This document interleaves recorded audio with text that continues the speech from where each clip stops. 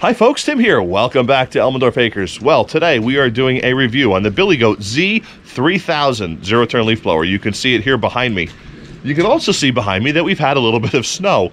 Uh, it's the second week of January and I'm running this video a couple months later than I had originally planned. We got busy with, uh, I don't even know what we got busy doing, but we got busy doing everything but making videos and I just got behind.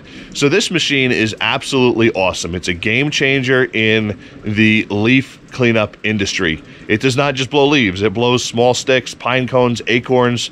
It feels like there's not a thing that you can't blow over with this, including a couple stone walls. I, uh, I lifted one or two stones off a stone wall on a couple of the cleanups that I had to fix as I was learning this machine.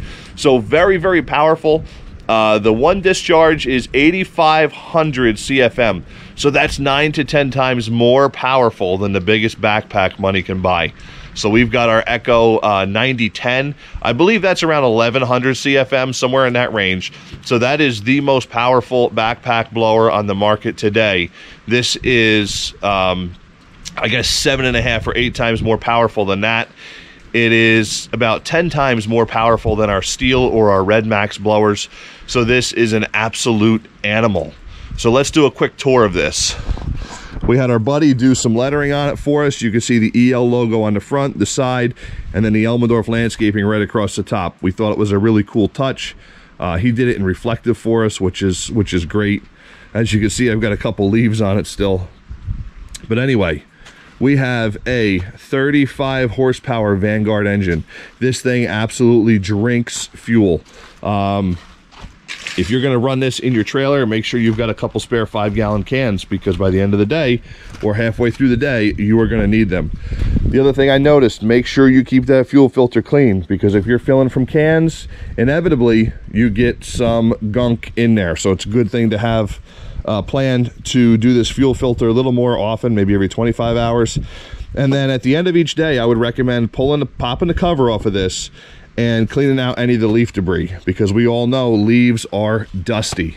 So let's come on up here to the operator platform. You can see right here, we've got our choke, our throttle, the key, tachometer, our drive handles, reverse, forward, and when you let them go, that's how you turn your emergency brake on. This little knob up here is your discharge.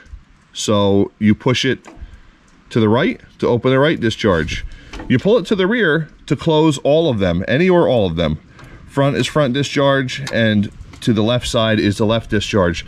Very, very self-explanatory.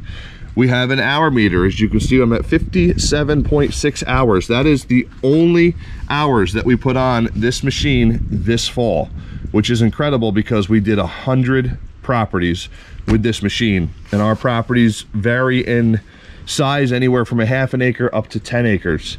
The majority of them being well over an acre. So we've only got a couple of those very small properties. Uh, it does have a light, so if you take this key while it's running, when it's running, it's gonna be over here, of course, but when you click it back one, it goes to the little light symbol. And that has an LED light bar on the front of the machine. Pretty handy at night. My critique of this is I really wish they had light bars on the sides of the machine because your primary discharge and most of the leaf blowing is happening off either the right side or the left side. So let's see how this machine works, shall we? So if we go here, I want to set I want to set this right in here. This is the right side discharge. Now I'm going to open this up and you'll be able to see how it works. So as you can see, that's wide open. You can see in that chute pretty good there. Um, if you look up in, let's see if we can get you that. You can see the fan blades just a little bit. Now this is a very, very heavy machine. Let me close this again.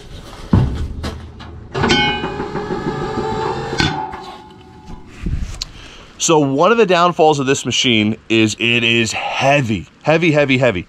This thing weighs as much as your zero turn lawnmowers. So you need to be careful, especially in the fall. Sometimes we get those wet falls. this can get stuck. I think we had it stuck twice this year. Um, having one of the zero turns with you to just pull you out is a great idea because there's no way you're pulling this out with a person. Um, not unless you have a rope with a come along, something like that. So very heavy. Also not great on hills. I found that out. I've definitely lifted the, the front end of this machine going up hills quite a few times. But as long as you're careful, use some common sense, you'll be fine with it. I love this leaf blower. This was a life changer this year, and it was an incredible stress relief to have this machine in our lineup this year where um, before this, we only had backpack leaf blowers. So those properties that were taking us eight hours with two people, we were able to get done in two hours with two people. And we were actually able to get them done two hours with three people, with the third person doing the lawn mowing and the weed whacking to give the final cut for the year, which is something I love to do once the leaves are done. It leaves a nice stripe. It's what people see all year when there's no snow or when the snow melts. It just really, really looks nice or a year like this year where we didn't have any snow until after the 1st of January. So people were able to look at a nice clean lawn for a couple months. So that's something really important in the business world, if you ask me, is you want to have your properties looking good. Your name is on them. So we take care of these big properties and people see this all the time, right? They see our truck out front with our name on it. And they want to know that if they hire us, this is what the property is going to look like. So just kind of remember that in the business world, that the way you work on these properties is really your signature. It becomes what you're known for.